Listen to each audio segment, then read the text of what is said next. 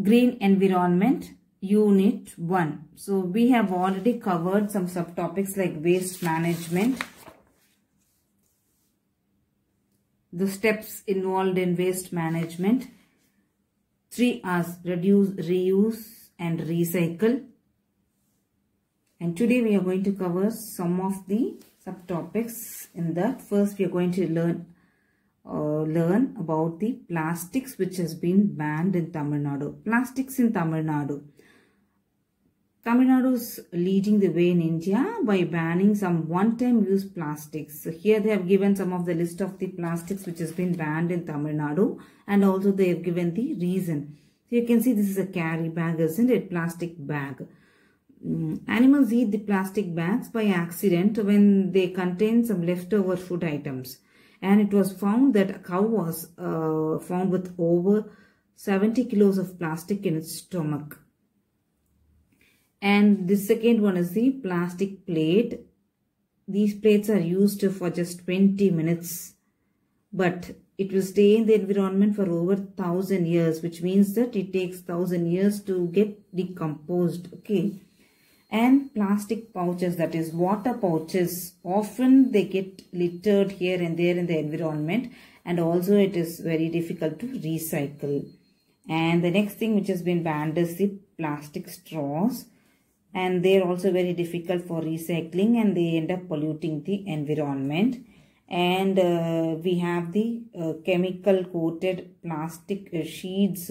And these chemicals from the plastic sheets they will leak into the food more when the food is hot, spicy or oily. Yes, okay. Uh, so all these uh, types of plastics is being banned since the people are using it only for one time and will be throwing it, isn't it? So all these type of plastics have been banned in Tamil Nadu. Next our next subheading is environmentally friendly materials. So things that can be decomposed or broken down microorganisms or biodegradable. Yes, they get decomposed and will be converted into a fertilizer like end product. So they can return back into the soil and they'll become the food for the plants. So these biodegradable items are environment friendly or even they're called as eco-friendly materials and materials like uh, plates made up of leaf, cups made up of leaves and banana leaves. You can see many different types of cups made up of leaves. Also, uh, things made by bamboos. Bamboos used to make many things such as packs, dustbins and even toothbrushes. All these are uh, eco-friendly and they do not contain any chemicals like thermocol plastics or any uh, coated paper plates and all. Yes, they're fully biodegradable and so they are eco-friendly materials.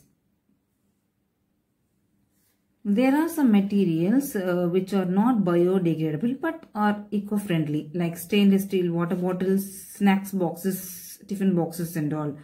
They're very very very strong but they're not biodegradable. So we can use it for many years instead of using plastics and throwing away and buying a new one. Yes, we can use it for uh, many years since they are very very strong and also they are eco-friendly.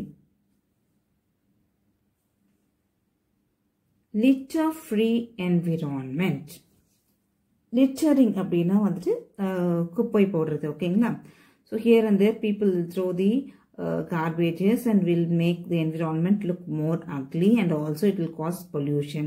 Wind and rain uh, what will happen? It will move all these litters into some drains rivers lakes and water bodies and also it will pollute all these water bodies. So it is very very dangerous to animals also as they may eat it as it smells uh, because of the smells of the food which was already kept in those uh, covers and all and which will lead the animals to eat it and will make or cause some problem to the animals so not littering we have we should so for this what we have to do we should not litter things in the environment. Yes instead we have to drop it in the dustbins provided.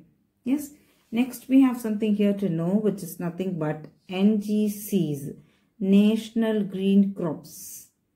So it is one of the national program initiated by the government of India and that motto is nothing but where there is green there is prosperity. Green na pasumai prosperity அப்படின்றது செழிப்பு okay so their main aim is to bring awareness among the school students and uh, around 50000 schools what they have done is they uh, made the students to participate in some of the activities uh, through their eco clubs yes And GC school students will uh, protect and promote the conservations of natural resources through participating in the activities such as the conservation of forest and managing waste and all. So by this way they'll give awareness among the students related to the environment and this is the logo of them. You can also see they have written the motto below this where there is green, there is prosperity. And children, we have to uh, follow some of the uh, rules to keep our environment clean and also to keep our environment green so that we can save our environment. Yes. And uh, yourself and myself, uh, I hope that we'll follow all the three R's, waste management steps and also we'll keep the environment litter free, green and we'll save the environment. Thank you children.